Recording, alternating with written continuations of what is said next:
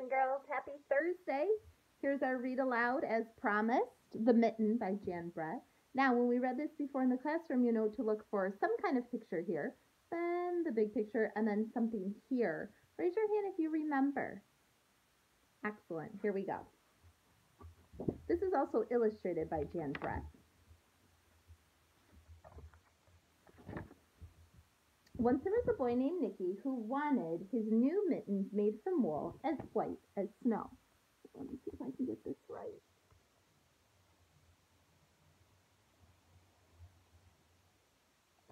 Pretty good. I think you can see all the pictures. At first, his grandma Baba did not want to knit white mittens. If you drop one in the snow, she warned, you'll never find it. But Nicky wanted snow white mittens, and finally, Baba made them.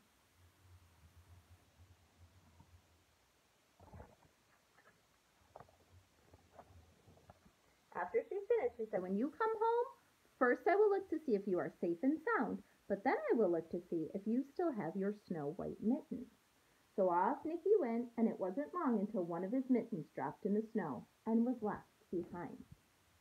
There's a lot of snow there. Let's see if you can pick out where the mitten is lying in the snow.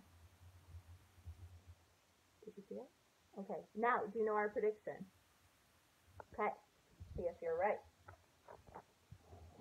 A mole, is that your guess? Good. Tired from tunneling along, discovered the mitten and burrowed inside. It was cozy and warm and just the right size, so he decided to stay. Do you know who's going to show up next?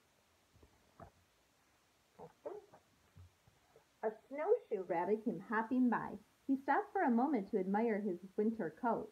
It was then that he saw a mitten and he wiggled in, feet first.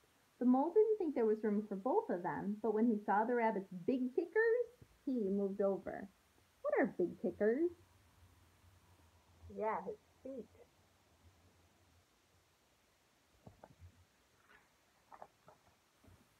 Next, a hedgehog came snuffling by. Having spent the day looking under wet leaves for things to eat, he decided to move into the mitten and warm himself. The mole and the rabbit were bumped and jostled, but not being one to argue with someone covered with prickles, they made room.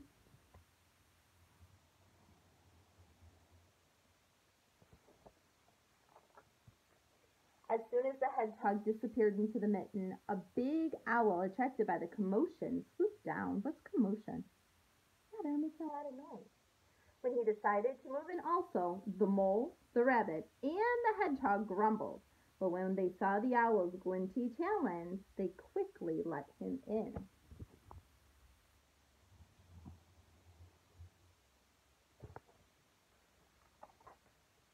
Up through the snow appeared a badger. He eyed the mitten and began to climb in. The mole, the rabbit, the hedgehog, and the owl were not pleased. There was no room left, but when they saw his diggers, they gave him the thumb.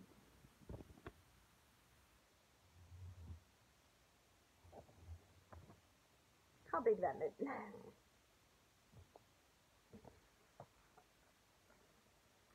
It started snowing, but the animals were snug in the mitten. A waft of warm steam rose in the air, and a fox trotted by, stopping to investigate.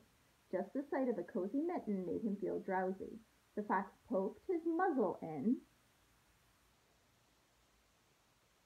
while the mole, the rabbit, and the hedgehog, the owl, and the badger saw his shiny teeth. They gave the fox lots of room. Do you think this story could happen in real life? A giant bear lumbered by. He spied the mitten all plumped up. Not being one to be left out in the cold, he began to nose his way in. The animals were packed as tightly as they could be. But what animal would argue with a bear? Not me. The mitten swelled and stretched. It was pulled and bulged to too many times its size. But Baba's good knitting held fast. Who remembers what happened?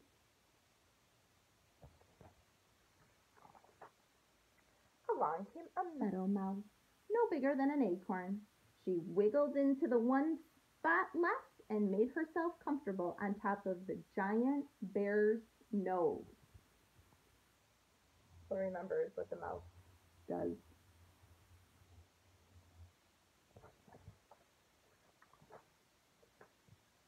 The bear, tickled by the mouse's whiskers, gave an enormous sneeze. Ready? Let's sneeze together and count three. One, two, three. Ah, ah, ah, choo! The force of the sneeze shot the mitten up into the sky and scattered the animals in all directions.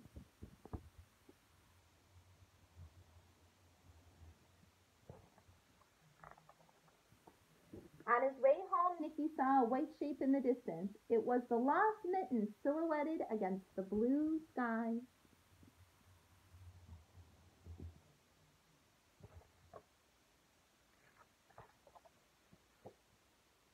As he ran to catch his snow white mitten, he saw Baba's face in the window.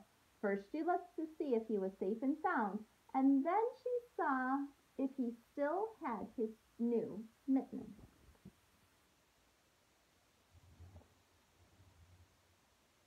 All the animals are kind of scattering, huh? Ah, there's the last picture. What do you think she's thinking? Yeah, how did that happen, right? The mitten is huge. All right, so we said for tomorrow we have um, the other Jan Brett story, which is called Hedgie's Surprise. And I think, see if I can find the page with the hedgehog here.